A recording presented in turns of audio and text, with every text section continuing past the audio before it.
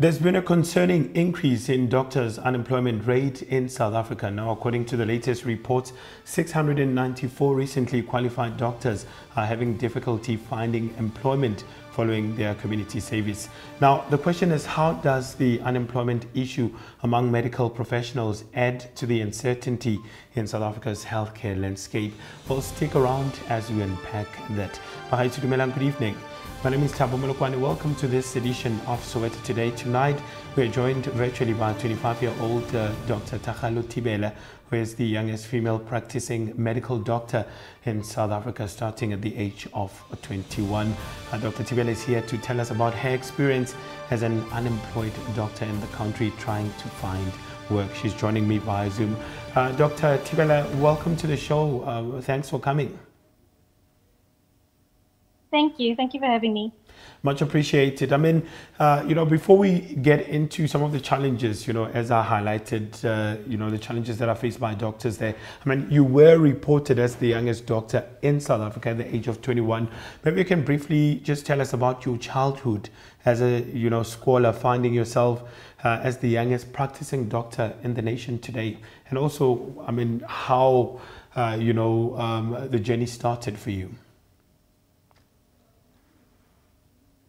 Gladly. Um, so I've always been blessed and very privileged to have worked the journey that I've worked. Um, so I've always growing up wanted to be a doctor ever since I can remember, ever since, you know, preschool, primary school, whatever, that has always been me. And that has also been reflected in um, the way I conducted myself all those years. So I've always wanted to be that person who was the top of the class, top of the grade everywhere I went.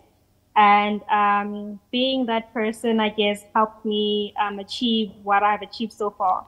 So um, in primary school, um, I remember being called into the primary, I mean, the principal's office, being told that I'm not going to do grade seven the next year. Um, the same thing happened when I was in high school. I was told I wasn't going to do grade nine. And that led to me graduating at 15. Um, so I started medical school at 15 when I was turning 16. And Yes. So um, starting med school at that age made me able to graduate at 21. So after graduating at 21 at Wits University, I then proceeded to do my internship at Helen Joseph Hospital in Johannesburg. And last year I was doing my community service at Mapulaneng Hospital in Bushbuckridge. Mm. I mean, uh, talk to us about uh, you know uh, the challenges that you experience every day. I mean, knowing that you have a qualification, but uh, you are struggling, you know, with finding employment. How is it affecting you and your family? I mean, uh, you know, you're one of the hundreds of doctors that are still knocking at every door trying to get uh, that employment. Huh. It's really disheartening because when you are in high school, for example, when you're still looking for a career to, to get into, you get told that, you know, medicine is one of the careers where, you know, you're set for life. When you become a doctor, you will never struggle. You always have a job, you know, people will be fighting over you. um, so when now such things happen, you tend to question um, what the country has come to. And I'm not saying, um, you know, because I've, I've heard people say that doctors are not important, everyone else is struggling, which is which is which is true. Um, there are very uh, there are a lot of professions that are in the same situation, and it's very unfortunate. And um, I think what makes it worse is because now this is spilling over into the healthcare system. And the issue with that is we have long lines of patients waiting, needing the healthcare that we can provide but we're finding ourselves in a situation where we can't provide that. For me personally, um, I had my whole life planned, and unfortunately, scripture does say that you make plans, but God, you know, decides.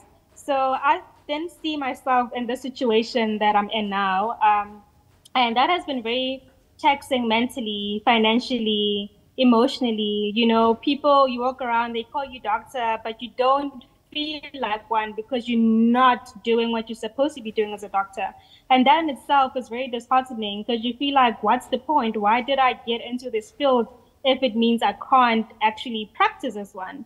And you get people telling you, you know, it's fine, you can just go wherever. You can branch out of medicine and do these other things. But I came into medicine because I wanted to be a medical doctor. I wanted to see, treat, and help patients. So not being able to do that is really disheartening. And I hope, hopefully soon enough, I'll be able to go back to doing what I've always wanted to do and what I actually love doing. Mm. I mean, uh, Dr. Thibela, uh, you know, there's been word going around that, uh, um, you know, somewhere, somehow, doctors that are coming from other countries uh, are being prioritized in the country. I mean, I just want to get your opinion as a person who's unemployed. Uh, you know, how does that make you feel? Uh, that uh, you know there is that thing that look people that are coming from other countries, uh, you know, especially medical doctors, they're being given first preference, uh, you know, than locals.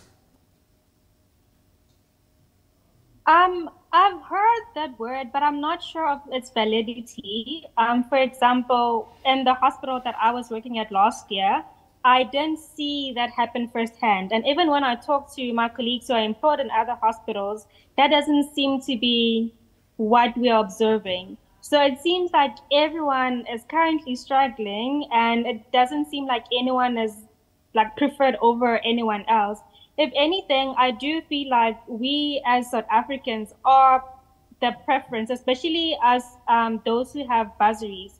So they are preferred so they can, you know, go back and serve and pay back the state for putting them into school. As far as other nation, nationals coming into the space, I can't really comment on that because I don't have first-hand experience and I don't know how true or valid that statement is. Mm. Now let's hold it there, uh, Dr. Thibela. We're going to take a quick ad break. Dr. Thakgalo Thibela there talking to us about her experience as an unemployed doctor in the country searching for work. We will bring her back again uh, a bit later on. But for now, after the ad break, uh, we loop in the National Health Care Professionals Association into the conversation. Do stay with us.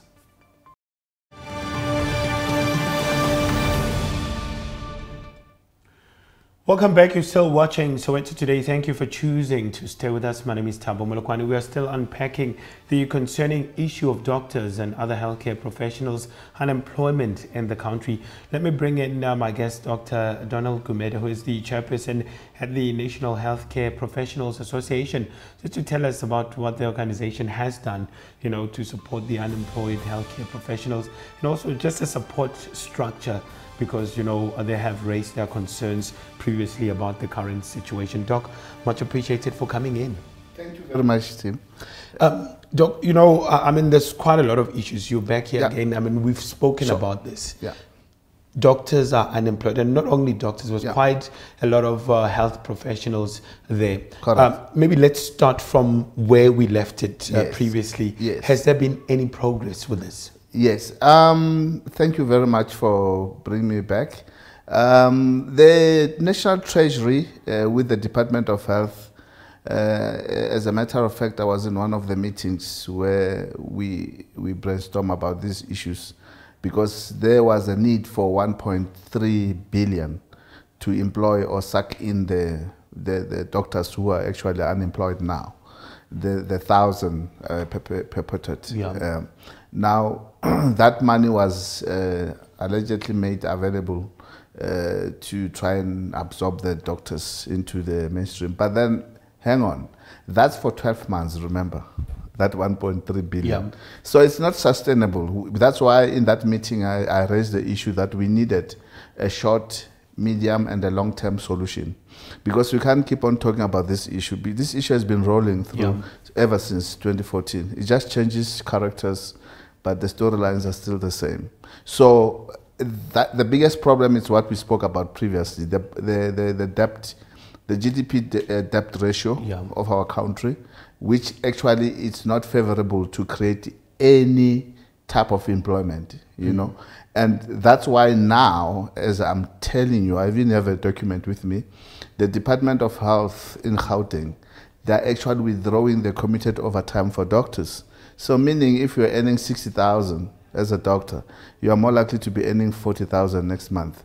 And imagine they just announced today that the petrol price is going up So you see, we are trying to rob Paul to pay Peter. So we're not solving the problem. We're just juggling around uh, numbers to try and please the crisis. I mean, speaking about numbers, we saw what's been happening the past few weeks. Quite a lot of, um, uh, you know, um, promises Correct. that have been made. Uh, what is the actual number of the doctors that are unemployed? Is it this number that they're giving us, or it's actually bigger than that? It is bigger than that. Actually, uh, the minister uh, put it nicely because he understood what's going on. So what we what happens is you have got an employment rollover. So you have those doctors who finish in December, and those probably who failed two modules or so, and they're gonna finish in March. Then they get em- em- em- employed that then. You see, others in June. Now, when their term of employment gets finished, it, it doesn't get finished at the same time. So every day, new doctors are getting uh, added to the list. And uh, I, I must emphasize one other important critical issue. Uh, as in our association, see, we represent public and private. Yeah. We have got a lot of doctors who actually have closed their practices in private practice. Because you see, this unemployment issue is not only affecting the public. Yeah. Because you see, uh, when now uh, the crunch of the market and everything, the, the, the normal uh, uh, middle class, they reduce the, the, the, the, the medical aid affordability to the basic normal. Now that affects your practice because you still have to pay rent, pay the workers, pay tax, pay everything they can't afford. Hence, actually, just as a matter of fact, and it is a fact what I'm saying, we have lots of healthcare practitioners who are committing suicide because of actually what's happening in the, in the private sector. Mm. I mean, so so what what needs to happen? I know that we will just unpack some of the solutions that uh, are needed. We've spoken Sure, about them sure, also previously. Correct. I mean, but what seems to be the major issue because of now you come up, uh, you know, you hear people Yeah. uh, giving s- promises, throwing numbers uh, at the public, saying that look, we've actually, uh, you know, going to take a certain budget and do this and that, but is there a plan or There's, simply there's no plan? truth be told, there's no plan. Because if there was a plan, we wouldn't be here. That's the thing. That's the mm. honest truth. And I mean, I'm not bashing the ruling party. If they can't pay their staff at the, to the house, how would, they, if they go to government, be able to pay government mm. employees? I mean, really, it means also they don't even have a plan for their own small constituency or their own party or anything. I'm just saying. Uh, you know, you need to have a long-term plan, uh, meaning you start with a short-term, medium-term, and a long-term plan.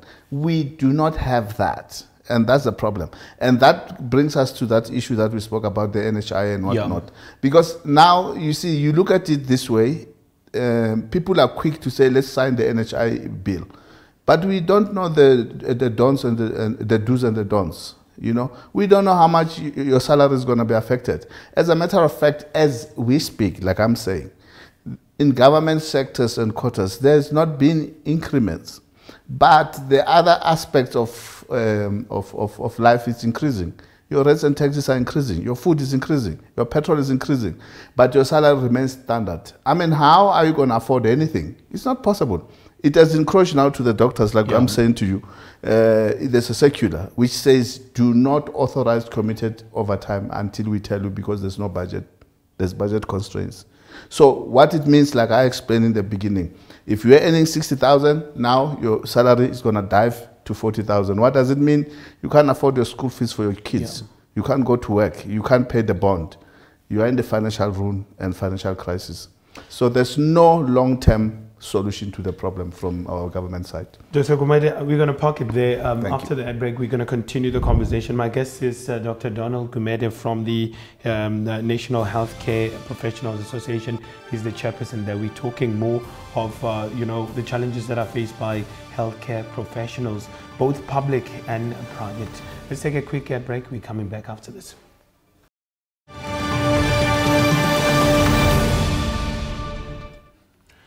Welcome back. You're still watching Soweto Today. Thank you for choosing to stay with us. We are still unpacking the concerning issue of doctors and other healthcare professionals' unemployment in the country. Uh, my guest uh, tonight is uh, Dr. Donald Gumede, who is the chairperson at the National Healthcare Professionals Association, uh, to tell us about, you know, more about uh, the organization. Also, as we've been talking uh, about uh, the concerning issue of unemployment of healthcare professionals in general. Also, uh, Dr. Thakgalo Thibela, unemployed doctor, there just joining us via Zoom. Um, Dr. Gumede, let me bring you to this conversation. I mean, you heard what um, uh, Dr. Thibela has been saying that, look, when I entered um, the space, uh, yeah, yeah, yeah, medicine, medicine yeah. I just thought that I was set for life. I mean, obviously, that's uh, a lot of people are thinking that and that's how they feel because the current situation that they're facing now. Yeah, thank you very much again. You see, when I started uh, the NSCPA with some of my colleagues, we were actually trying to debunk that narrative because you see, including myself, and now I'm in my 50s. Uh, when we were young, we were called the Standard 10A uh, Uh, cream de la cream. Yeah. So everything came easy, you know. But life does not work like that. And that's what I'm trying to teach healthcare professionals. In as much as it's our passion, you know, to treat patients, but you must find an extra income. Try and diversify because passion alone, most of the time, does not create wealth or stability in your life. That's the problem. Because you see, that secured us in the olden days, okay? So you knew if you're a doctor, you're gonna get a good car, you're gonna get a good house, your kids will go to a good school. It does not, it's normal like that anymore. It has changed. The mm. script has flipped. So I would advise uh, that don't abandon your passion. I'm still practicing medicine because it's my passion. But I've got other things that I do as well. So do other things as well to augment so that you don't become stranded because as uh, Dr. Uh, Thibela says, the, her car needs to be paid if she has a car. Yeah. And she's unemployed now. And if she doesn't pay the bank, I promise you they're going to come and fetch it. So you see, you must always diversify and, and, and do that. So combine your passion also with affordability where you can. It's mm-hmm. very critical and very important. And also mental health, uh, quickly, just to dip in. You know, when she's sitting at home, she's, she gets depressed because she sits down and says, but why did I spend so much effort? And I was lauded as the best, best, best, this, best, this, but now I'm stuck. I can't afford even to buy ice cream. Mm. And then why? And start asking many questions. That creates depression. And that's why we've got many healthcare professionals uh, being in mental institutions. Dr. Thibela, um, let me bring you to this. Uh, I mean, uh, you know, uh, the issue of, uh, um, as you can hear Dr. Gumede saying that, look, somehow, somehow you need to diversify and then uh, try by all means, you know, just to come up with, uh, um, um, you know, another alternative ways that you can be able to survive, but do not abandon your passion. Um, in general, how do you deal with um, just coping with this whole situation? As, you know, it is obviously a difficult position to be at. Um, yes. Um, so we have been talking about that with a few of my friends and colleagues actually, that it would have been helpful if, as part of the medical school training, we are also taught how to to be entrepreneurs. You know, we're also taught the business side of medicine or just business in general, because most of us graduate medical school, all you know how to do is be a doctor, mm. you know, and so it becomes a bit challenging, especially if you do also want to branch into private practice, you want to be a general practitioner, you need to be able to work out the business aspect of it. So it would be helpful for the future generation of doctors to at least be taught that as part of, you know, the medical training so they don't end up like us, where you find yourself medicine is the only thing you know how to do and when we find ourselves in this position, you don't know how else to make a living. So um, yes, this is something that we are exploring. Um, we have realized that, you know, like Dr. Gumede was saying, passion enough is not, passion alone is not enough to build stability. So we do need to, as medical professionals as well, um, learn other skills, learn, you know, other things so that we can also be able to survive. And also there are new, you know, ad- advancements in, in terms of like um, medical technologies and things like that. So I feel like that is something that we can possibly maybe branch into and like just waiting and hoping for the government to provide and employ us. So maybe we should definitely look into being employable ourselves. Mm. Uh, I mean, we, we are running out of time, uh, Dr. Gumede, but sure. I just want to Sure. get your, uh, you know, Yeah. uh, just uh, basically what do you think should happen now Correct. moving forward? Yeah, yeah. I mean, we're hearing, you know, the department is saying that, look, the issue of placement also becomes a major problem because people do not want to move to rural areas and stuff. And then it somewhere, somehow uh, changes just the whole dynamic of placement uh, in its entirety. I'm not sure what's your take on that. And also what needs to happen moving forward. We've been talking about this. Exactly. We need to see solutions. solutions. Yeah, I'm, I'm, I'm, I'm impressed because where she said she was working is a rural area. So imagine she studied at at Wits and then decided she's gonna go back to Bushbuckridge and study there uh, and work there. It's a rural area. It's not a location. Yeah. See, so it's not. It's a fallacy that they don't want to go to the rural areas and work. It- our doctors, they are willing to go anywhere. That, that's the honest truth. Yeah. They are willing to go anywhere. And then, secondly, uh, the issue of um, uh, getting a solution. Um, you see, our politicians will keep lying, and they can lie until the sun rises and sets again. The f- fact of the matter is the problem is bigger than what we're discussing now. We're just discussing the narrow field, which is Yeah. medicine. But the problem is that the economy is messed up. So the economy cannot create jobs. That's the, that's the honest truth.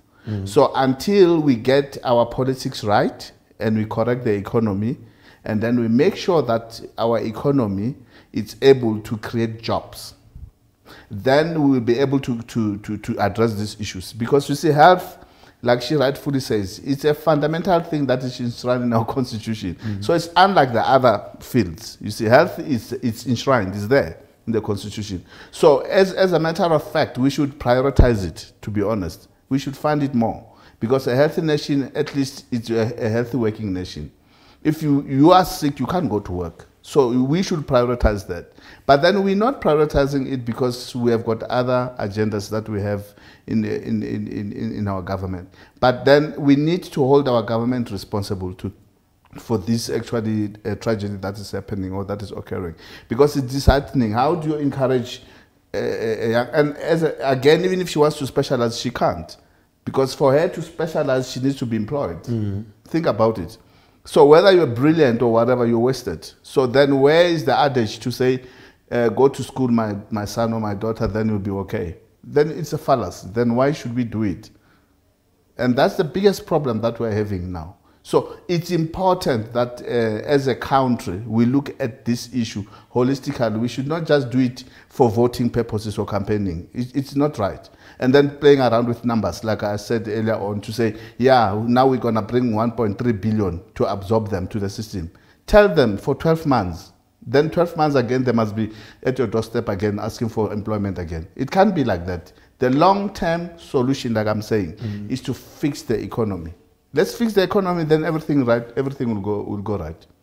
Dr. Gumede, much appreciated for coming in. Let me thank my earlier guest also, uh, who was uh, part of this conversation. That's uh, Dr. Thakgalo Thibela, also just uh, the youngest doctor there uh, who's unemployed, uh, talking about her challenges. I mean, getting sound advice from the good Dr. Gumede uh, himself there. But, Doc, much appreciated for coming this evening. Uh, le kamoso. Lekamoso. Ke lebohile. Ke a Um, well. Dr. Thakgalo Thibela there also just joining us uh, via Zoom, just talking about the plight, uh, the promises, uh, you know, that have been given to them. But currently, nothing has been uh, going on uh, there. Um, on that note, uh, that's how we wrap up uh, today's episode of uh, Soweto Today. Remember, we love hearing from you, so please feel free to talk to us about uh, this episode by simply sending us an email. It's Soweto Today at Soweto TV, or you can simply just call us or WhatsApp us at 081 531 8857. Bagaetsho, re dirile go lekane. Nna ke Thabo Molokwane, And the rest of the team, it's good night for us, and thank you for watching.